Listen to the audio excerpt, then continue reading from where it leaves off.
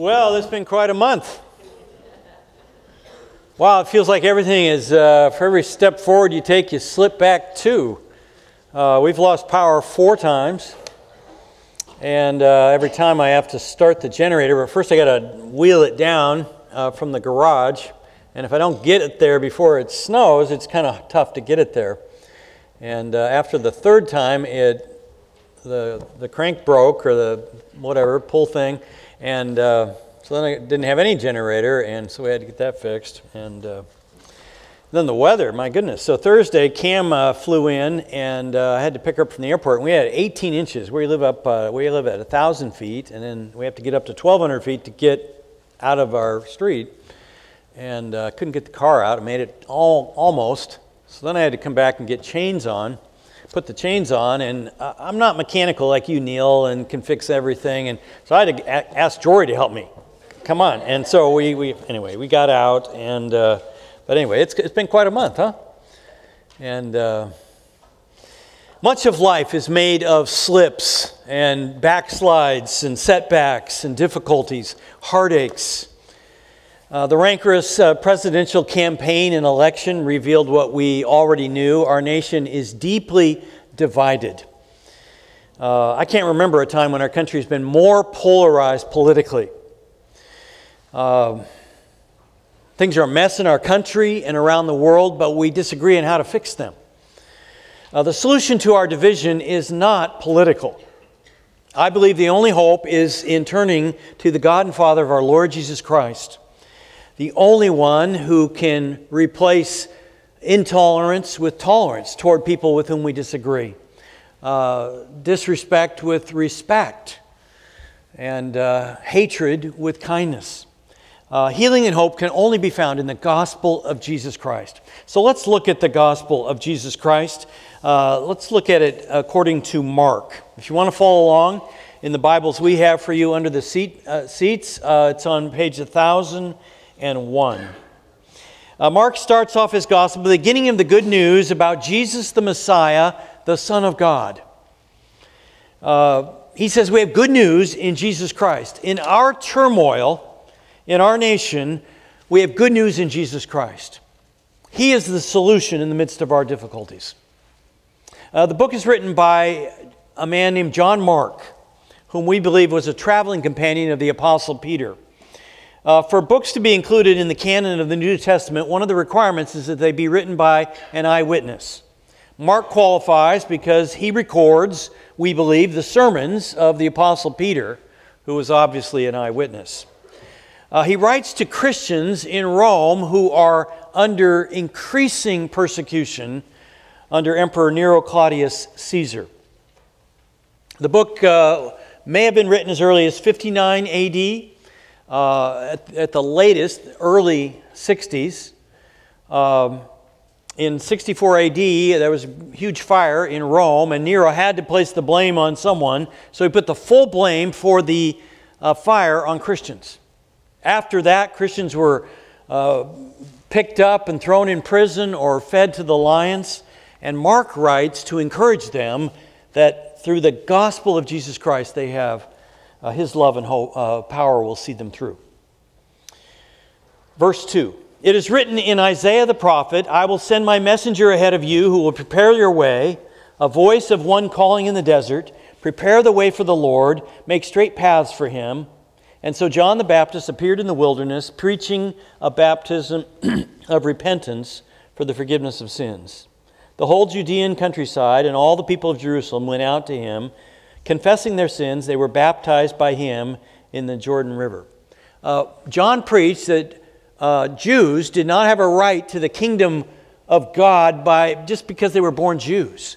By their sins, they had become as Gentiles, as much as in, in need of repentance as, as anybody else. And this was his message. Verse 6 After me comes the one more powerful than I the straps of whose sandals I am not worthy to stoop down and untie. I baptize you with water, but he will baptize you with the Holy Spirit. At that time, Jesus came from Nazareth in Galilee and was baptized by John in the Jordan. Uh, Matthew tells us uh, John protested at Jesus coming to him for baptism. But Jesus says, No, I need to be baptized with you to identify with all people. I have come to die for the sins of the world. Uh, at the cross, Jesus becomes sin for us. Then, to assure John and affirm Christ's ministry on earth, God adds his blessing, verse 10 As Jesus was coming up out of the water, he saw heaven being torn open and the Spirit descending on him like a dove. And a voice came from heaven You are my Son, whom I love. With you I am well pleased. This is one of the great Trinitarian uh, passages in the Bible. Uh, in, in creation, God the Father creates through the Word, Jesus Christ, and through the Holy Spirit. Now, when it comes to the grand moment of his recreation of all human hearts, uh, it's appropriate that we find God the Father, God the Son, and God the Holy Spirit working together.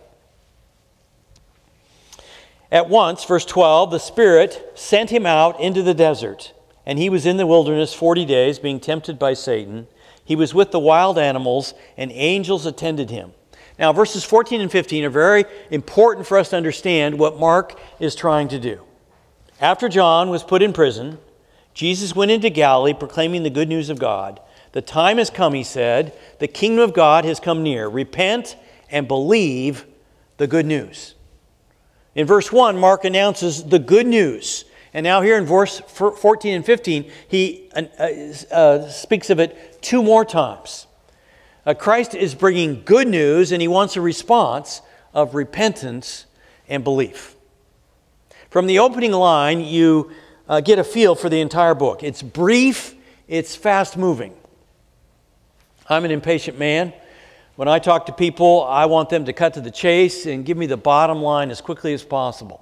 I love TV shows and movies where, uh, you know, it, it's, it's fast moving. And uh, I don't like a lot of talk, which just slows everything down. Well, that's exactly what Mark does here in his gospel. Uh, he moves from one scene to the next without a lot of verbiage. Um, he writes to a Roman audience. They are more doers than thinkers. They want action. They don't want a lot of talk. And that's exactly what Mark gives them one brief scene after another. Mark tells us that Jesus is a servant. He came to serve us. Can you imagine that? The God of the universe, who created the universe, comes to earth not wanting or expecting us to serve him, but to serve us and to give his life for us. So I want to make four observations about Jesus the servant in Mark's gospel. First, Jesus is a servant who works tirelessly to meet the needs of people. Uh, Mark shows how Jesus serves right out of the blocks in the first chapter. You glance through the first chapter, Jesus teaches in the synagogue in Capernaum. Verse 21, he drives an evil spirit out of a man. Verse 23, he heals Peter's mother in law, verse 30. Uh, he heals many people who crowd around his door, verse 32. Goes up to the mountain to pray by himself, verse 35. Uh, he's preaching in Galilee, traveling around to synagogues, driving out demons, verse 39. And he cures a man with uh, leprosy, verse 40. Mark shows us the Son of God in action, a person with passion for meeting the needs of people. Mark, One of Mark's favorite words is the Greek word euthus. It means immediately. Uh, 41 times, uh, Mark tells us Jesus or somebody else does something immediately. Uh, Mark writes his book in the historic present. Uh, 151 times he uses the present to describe situations that occurred in the past. It gives us a sense of rapid movement. Jesus says in Mark 10, For even the Son of Man did not come to be served but to serve and to give his life as a ransom for many. He comes to serve, and his, his supreme act of service is dying on the cross for us. Uh, when we read Mark's gospel, it doesn't read like a, a, biography we would read today. Someone writes a biography today, you, they, they spend a lot of time on their, usually their birth and their early days, and uh, Mark doesn't do that. Uh, Mark doesn't tell us anything about Jesus' birth, nothing about his childhood or early days. He focuses his entire book on three years of Jesus' ministry. And half of that he spends on the events leading up to the final week of Jesus' life, which ended in his death and resurrection. Um, Mark is saying that though Jesus' teachings are good, the miracles are great, uh, if it were not for the historical fact of the death and resurrection, they would be meaningless. Jesus came to die for our sins, so he spends half his book on the final week of Jesus' life and the death and resurrection. Jesus came to die for our sins and win victory over sin and evil, and nothing else has meaning without that. Jesus is a servant, and he sacrifices himself for us, and he calls us to serve other people and sacrifice ourselves for other people. Uh, we find some of the greatest uh, passages about service in all the Bible in the book of Mark. Uh, Jesus will tell us that it's more rewarding to serve than to be served. That's the, the key to happiness. Uh, maybe you're struggling with difficult times, uh, feeling sad about your situation. There's no greater cure for discouragement than to serve others. If you're not already doing so, volunteer in this uh, new year uh, to serve others this year. Second, Jesus is a servant who has divine authority. Mark begins and ends his gospel with the fact that Jesus is the Son of God. In verse 11, God says, You are my Son, uh, to Jesus, whom I love. With you I am well pleased. And then at the end of the book, the centurion, looking up at Jesus dying on the cross, says, Surely this man was the Son of God.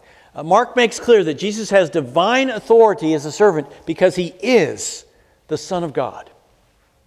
In the first chapter, Mark tells us they went to Capernaum, and when the Sabbath came, Jesus went into the synagogue and began to teach. The people were amazed at his teaching because he taught them as one who had authority, not as the teachers of the law. People are amazed at his teaching. The word we translate amazed comes from the Greek word ekplesso. Uh, Mark uses it five times. Chapter 6 When the Sabbath came, he began to teach in the synagogue, and many who heard him were amazed. Then in chapter 11, the chief priests and the teachers of the law heard this and began looking for a way to kill him, for they feared him because the whole crowd was amazed at his teaching. Now, if you add seven other Greek words that are basically synonymous with amazed or amazement, we find 27 times Mark tells us people were amazed with Jesus. Why are people so impressed by Jesus? Why do people regard Jesus as a teaching as so authoritative? Because he doesn't quote other people like the other scribes. He speaks on his own authority. Just then, a man in their synagogue who was possessed by an evil spirit cried out, What do you want with us, Jesus of Nazareth? Have you come to destroy us? This is Mark 20, 123. I know who you are, the Holy One of God. Be quiet, said Jesus sternly. Come out of him. He's commanding the demon to come out. The impure spirit shook the man violently and came out of him with a shriek. The people were all so amazed. And they asked each other, What is this? A new teaching and with authority. He even gives orders to impure spirits, and they obey him. Uh, the exhibition of power over the demonic uh, affirms what people are already seeing with his teaching that he has authority. Jesus is a servant who has divine authority. Third, Jesus is a servant who has compassion. In Mark 140, Mark records a tender scene with two characters. The first character is a man with leprosy. He's untouchable. Uh, he's desiring to be cleansed, and he believes Jesus can do it. The other figure is Christ in his compassion. The leper is a man who's been a social outcast for years. Lepers live by themselves, away from other people, in leper colonies. Uh, lepers are rejected by people because they fear them and catching their disease, and they're so unattractive. I mean, the whole appearance of a leper's face is changed until the person loses all semblance of, of uh, human appearance. Uh, nodules on the skin grow larger and larger. Uh, they ulcerate a foul discharge. The eyebrows eventually fall out. Uh, the voice becomes hoarse from wheezing due to ulcerations on the vocal cords. Uh, the average leper lives nine years between diagnosis and death. Uh, eventually, brain cells are destroyed and the person slips into a coma and dies. Now, we tend to think that there's no more leprosy today, but actually, there, there are lepers in 100 countries around the world. Over half the cases are in India. But if a person can be diagnosed and treated, they can be treated with antibiotics. A man with leprosy, verse 40, came to him and begged him on his knees, If you are willing, you can make me clean. Um, the stress is more on you can make me clean than if you are willing. He's absolutely convinced Jesus can make him clean. He's asking him to show compassion.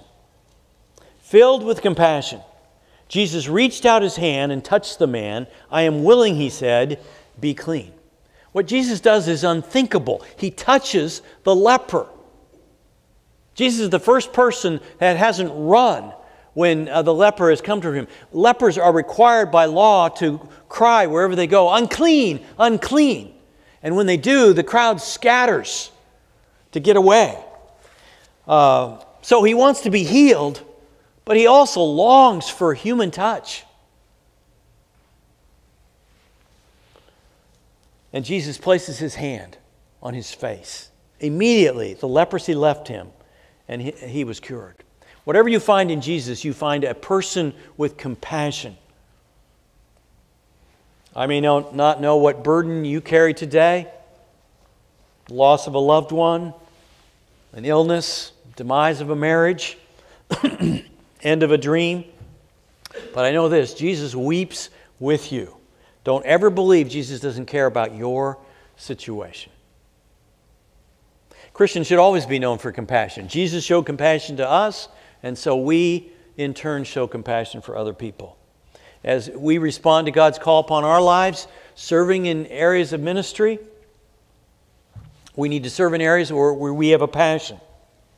I hope to see all kinds of uh, ministries of compassion uh, uh, grow up here at Portland Community Church through the years. We already have uh, ministry for orphans in Kidspire. We're trying to help people that are financially struggling uh, through providing them with mentors. And uh, we do Christmas baskets. We send home food every week to students at McKay, filled with food. Um, we're trying to meet the needs of people educationally by providing tutors and reading buddies for kids at McKay.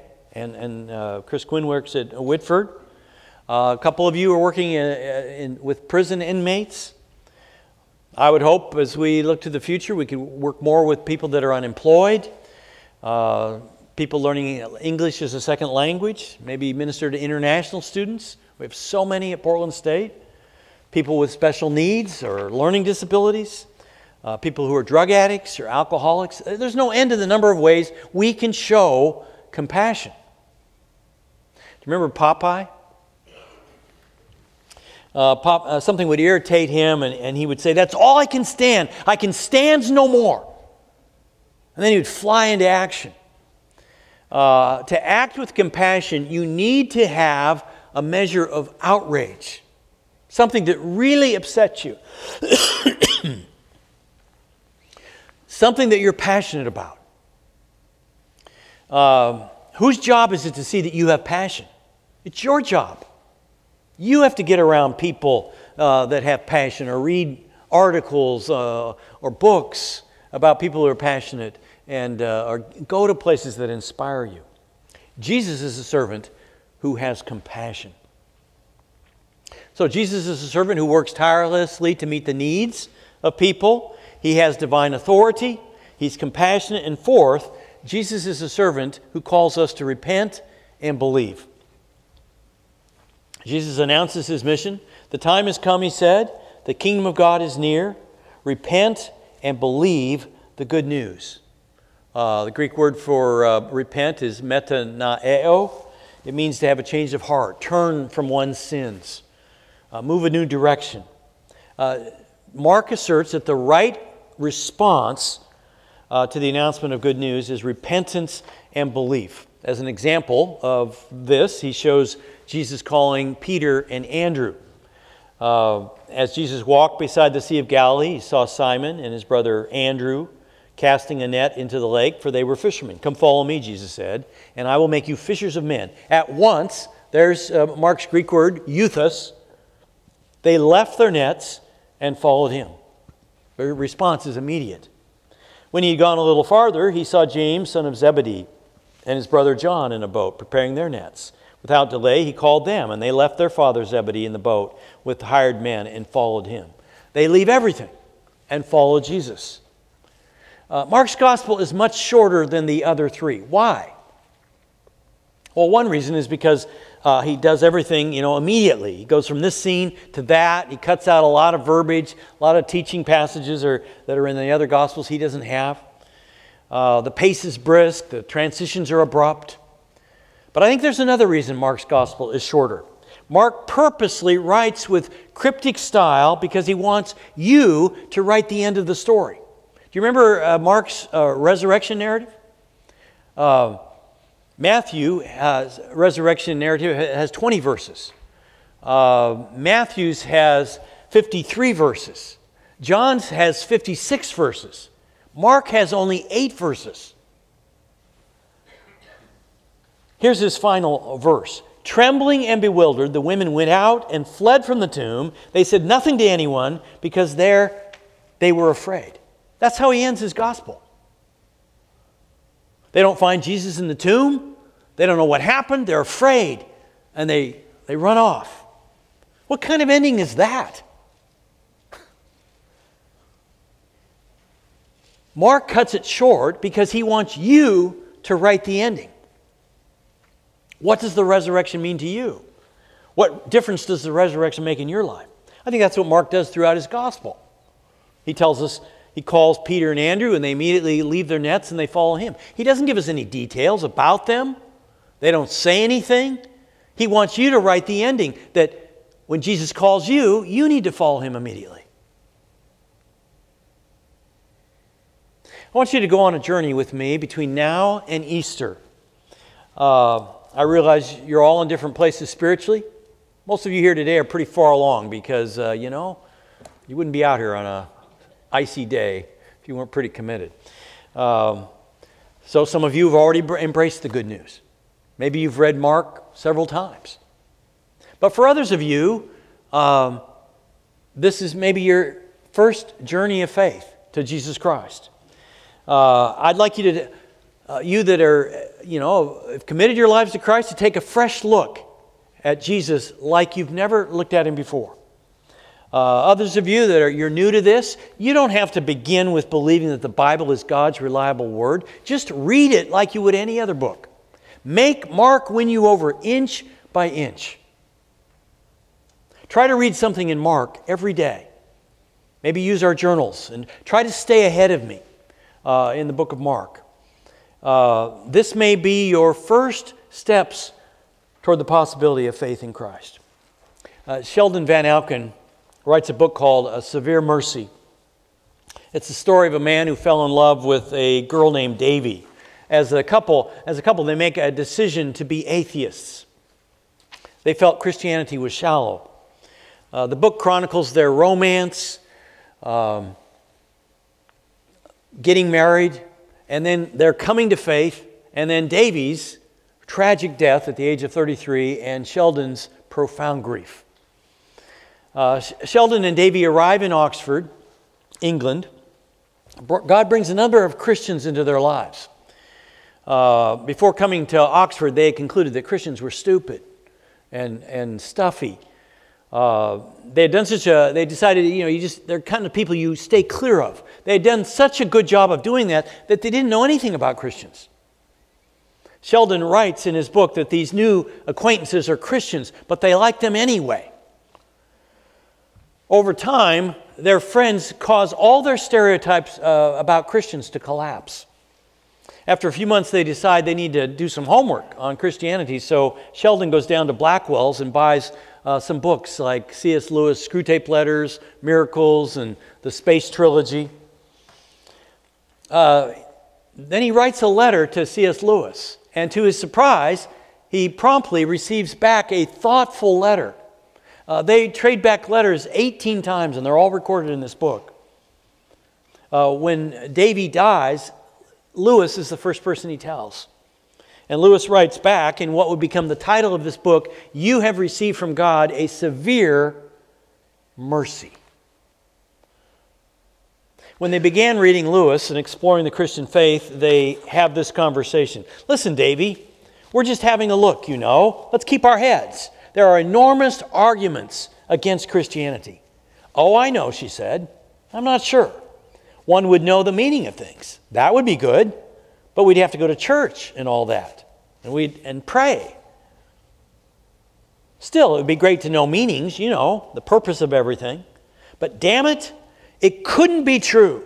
How could Earth's religion, one of Earth's religions, be true for the whole galaxy, millions of planets? Maybe.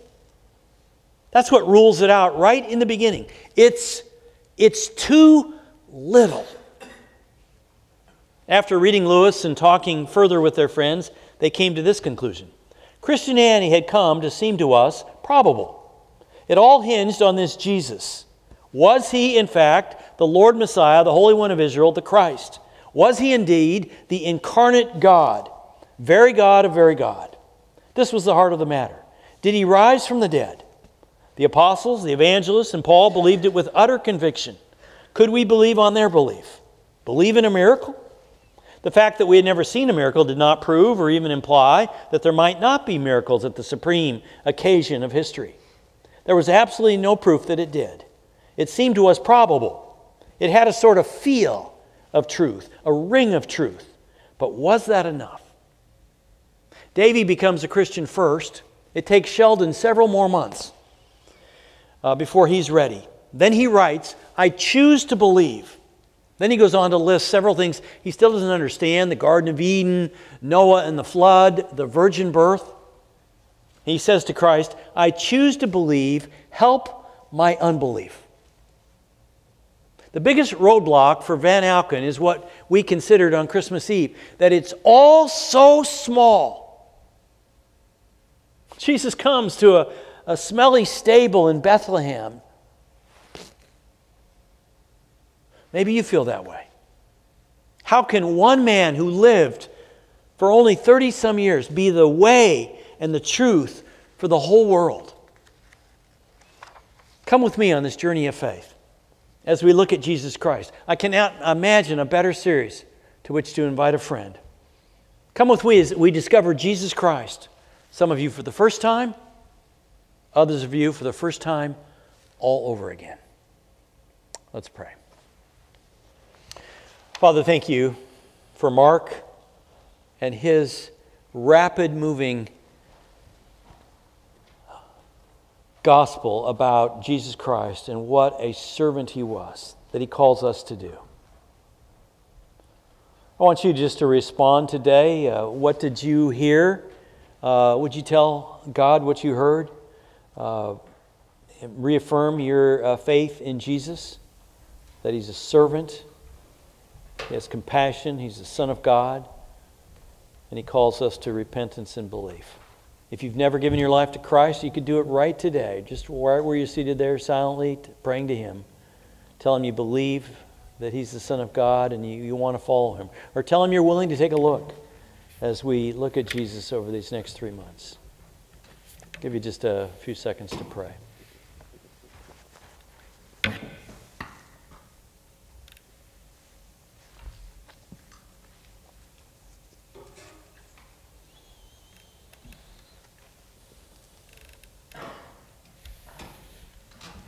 Thank you, Lord Jesus, that you came to earth and you came to serve us. Amazing.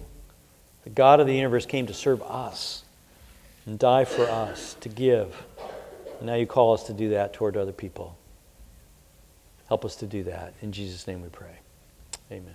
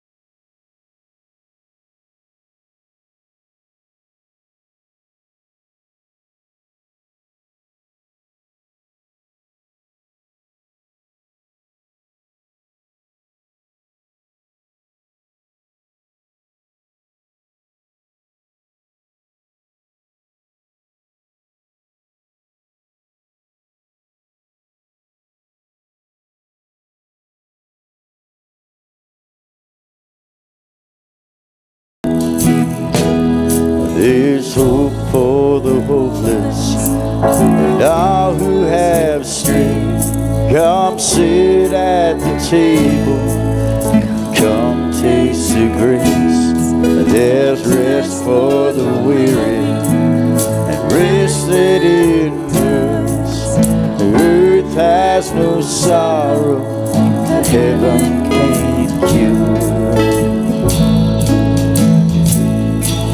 So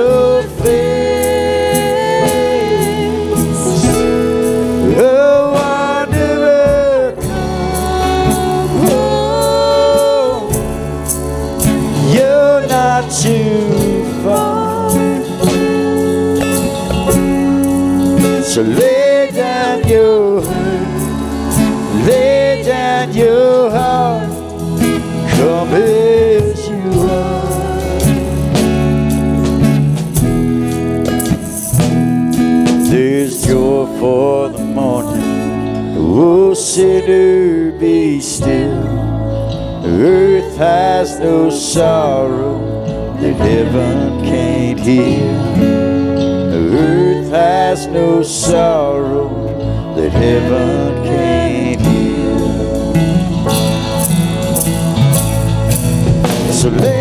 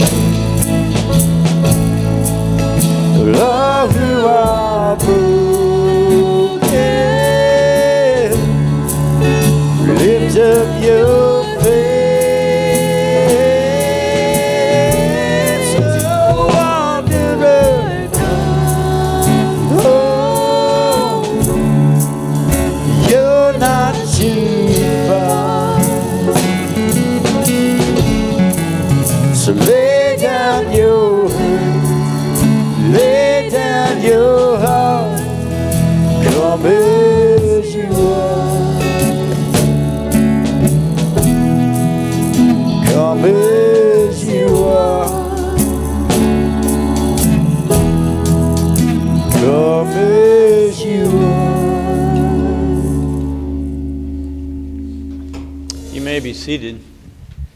I invite the ushers to come. We're going to receive our offering at this time. And uh, let me pray before we do. Father, thank you for this opportunity to give to you. Lord Jesus, you came, the creator of the universe, and you served us. You died for us. Now, out of love for what you've done for us, we long to do something for you, to give back something to you. And this is one way we can do it. But it's hard, Lord, to give away our resources. We don't know if we'll have enough. We're counting every penny. And, uh, but we claim your promises, Lord, that when we give to you, you give back to us. Uh, you meet our needs and you bless us. And so, in faith, we give to you now. And Lord, we pray for our children and our youth. Uh, we pray for parents raising uh, kids, uh, give them wisdom on how to do that. And uh, we pray for our kids as they go back to school, hopefully, uh, this week, and that uh, they may feel like they're the only Christian there. And in some cases, that, that may be the, the case. And uh, so we pray that you give them a commitment to you and a confidence in you that you uh, are in them if they've committed their lives to you and that you help them in school, you help them with their friends, you help them serve you there and make a difference. Uh, so strengthen our kids, we pray. In Jesus' name we pray. Amen. Where you go, I'll go. Where you stay, I'll stay. When you move, I'll move. I will follow you.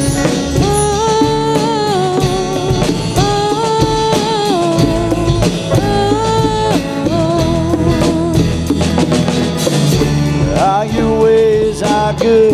All your ways are show. I will trust in you alone, higher than my side, high above my life. I will trust in you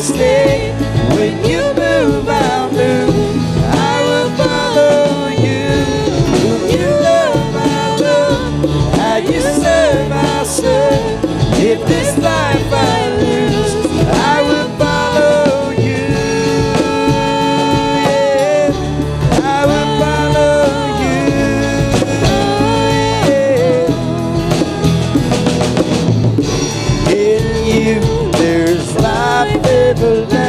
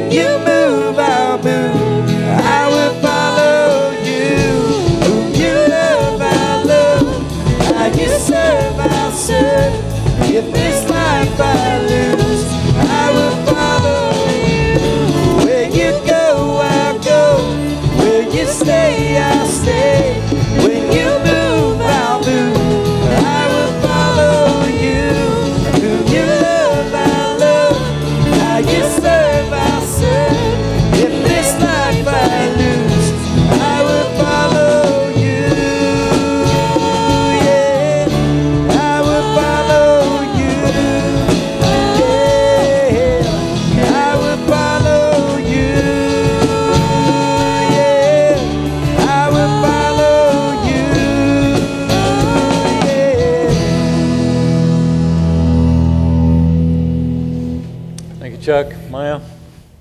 Hey, if you'd like to pray with someone, we also have someone in the prayer room right down the hall there behind where we eat. Hope you'll stop in and uh, eat with us, get some food. And uh, next week I'll be talking about Jesus, the incredible teacher. We'll look at how Jesus taught, and people were so amazed at his authority. And uh, we have uh, decided that uh, some of the people at McKay are in need of coats. And so we're going to have a coat drive here for a couple weeks. So if you have any coats, we're particularly looking for children's coats, uh, young people's coats. So if you've got coats or you want to buy a new one, uh, if you'll bring them over the next couple Sundays, then we'll deliver them over to McKay. But you can also give adult coats. Uh, the kids obviously have uh, uh, parents. So, all right. Jesus said, The Son of Man came not to be served. Isn't that amazing? But to serve and to give his life as a ransom for many. He calls us to do the same.